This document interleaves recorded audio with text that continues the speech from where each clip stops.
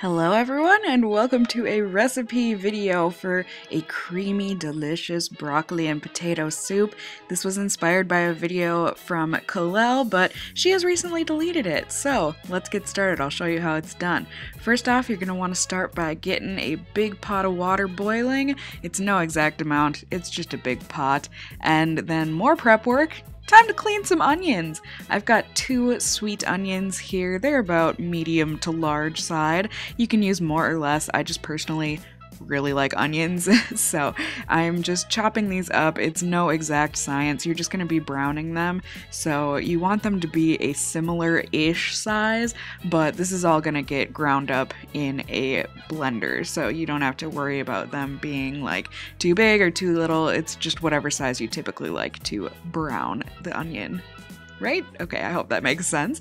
But you're just gonna wanna get that in a pan. I've got some vegan butter in there, and then you're just gonna wanna let that brown. And while that's browning, you can go ahead and grab some potatoes. These are some golden potatoes, and get them into some thin-ish slices. I'm sure you can do them thinner than this, but I'm not a chef, so I just did the best I could. And the other things you're gonna need, I had already prepped this stuff, but a whole head of cauliflower, just, you know, in little, little little tiny chunklets, nothing too big, but doesn't really matter. And then also some celery. It's not an exact amount of celery, but you know, maybe three stalks of it, and just chopped up into little pieces like that. I will have like a recipe, quote unquote, in the description down below if you're wondering about all the ingredients and stuff. But then you're gonna wanna go ahead and get some more little golden potatoes. And again, this is not an exact number, and you also there's not like an exact size to cut these into. You just want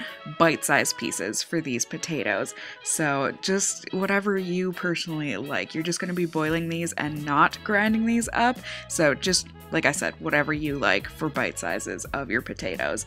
And then you just plop it into your boiling water and you're just gonna cook the potatoes, you know, nothing too special. And make sure while you're doing all this, obviously, be checking on, in on your onions. You can go ahead, play fetch with your cat, you know, because you're so happy that he plays fetch with you. If you're a cat mom, this is an exciting time in your life. Please pardon anything that looks like trash as well in my apartment. It's not trash. It's actually cat toys because they love boxes more than actual toys.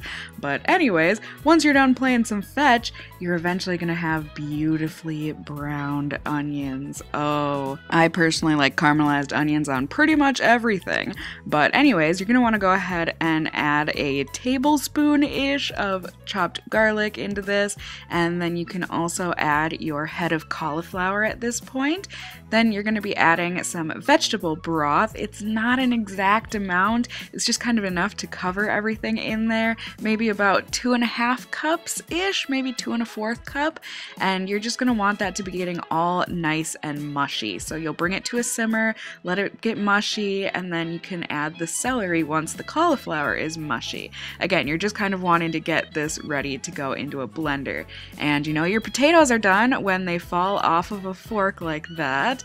And once the potatoes are done, just put them in a bowl and set them aside for later. You don't need to do anything to them except have them boiled like that. So easy peasy.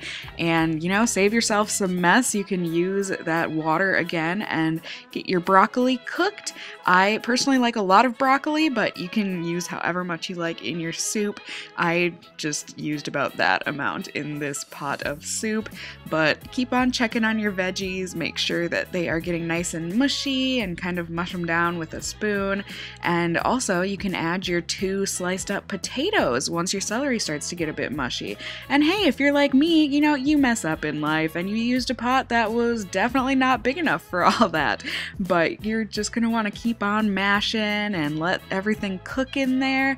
And once it is extra nice and mushy like this, you know, not too appetizing, but don't worry guys.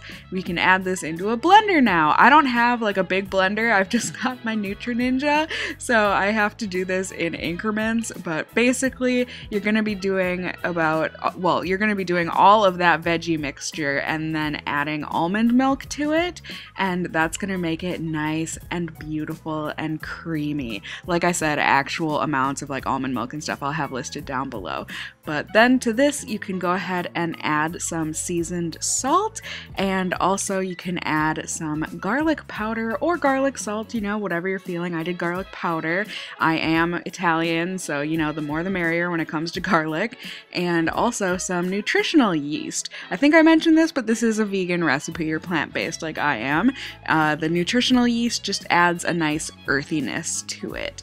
But once you let that simmer for a little bit, let the spices mix in, you can go ahead and add that cooked broccoli and also your little diced cooked potatoes. Yay! I personally like having stuff to chew on in my soup, so that's why I add kind of a lot of potato to that part and broccoli.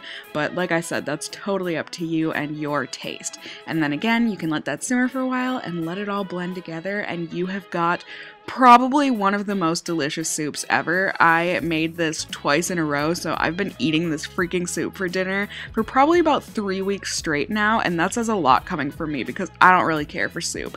I personally like to chew on my food, but this stuff is delicious. It's so creamy, it's so flavorful, and yeah, overall, I would highly recommend it. So go ahead, give it a try, let me know what you think. I hope you enjoyed this recipe, and of course, check it out down below if you want the full ingredient list. If you enjoyed the video, please give me a thumbs up down below and subscribe if you are new to my channel. I'd love to have you here. And as always, I just hope you guys are all doing well. And until next time, just stay well until then. Bye!